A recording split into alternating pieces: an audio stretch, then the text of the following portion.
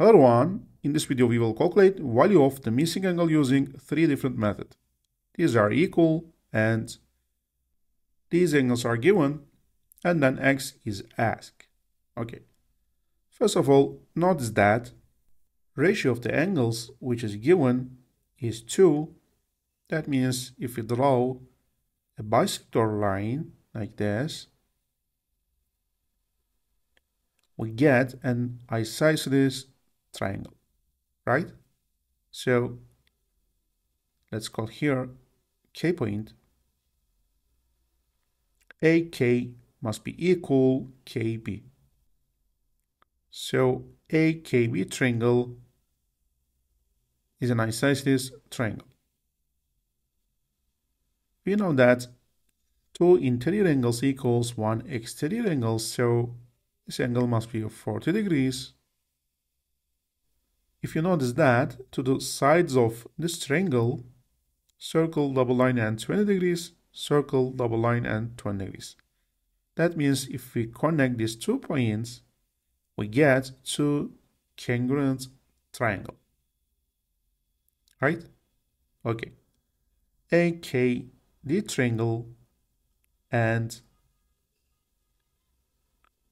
BKC triangle are congruent because they have same two length and angles which between these two equal length.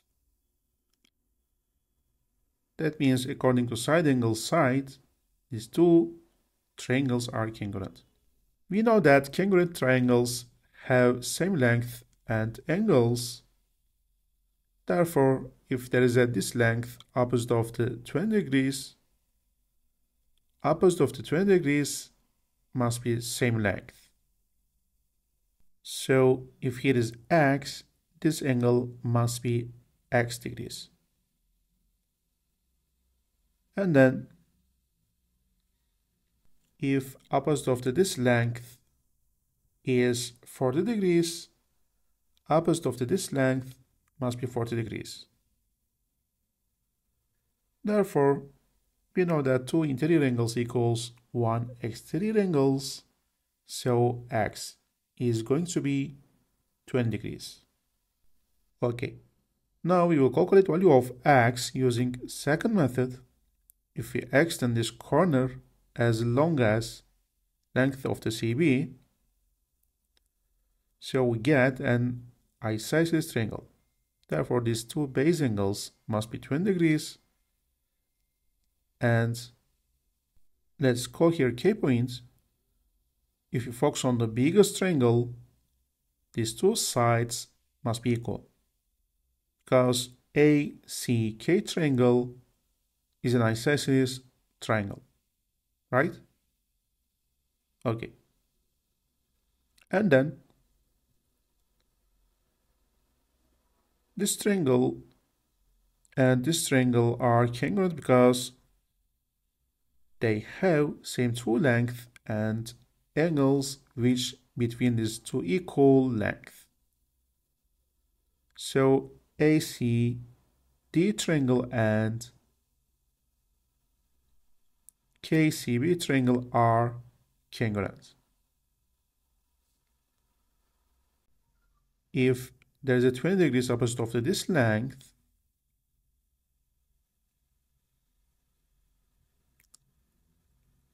opposite of this length must be 20 degrees.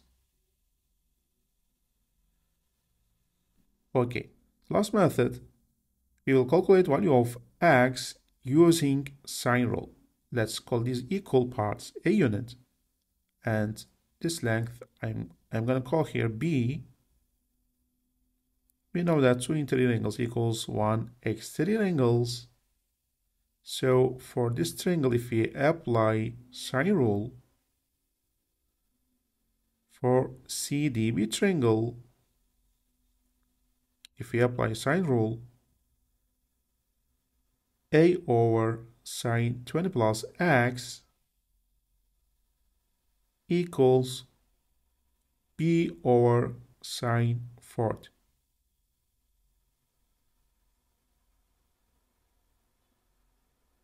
Therefore, a over b equals sine 20 plus x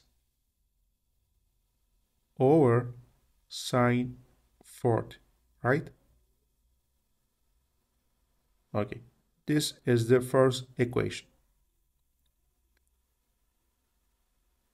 And then for this triangle, let's apply sine rule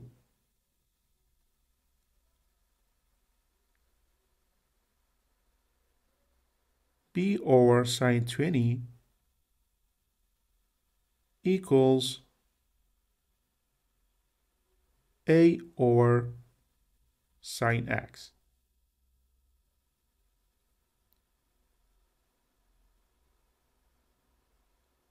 Therefore, a over b equals sine x over sine 20. Okay, this is the second equation. If you notice that these two equations are equal, that means we can equalize these two equations. Sine x over sine 20 equals sine 20 plus x over sine 40. If you replace of the expressions, sine 40 over sine 20 equals sine 20 plus x over sine x.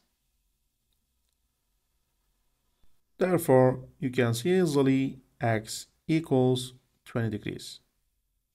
Thanks for watching and if you want more videos like this, please subscribe my channel. Bye.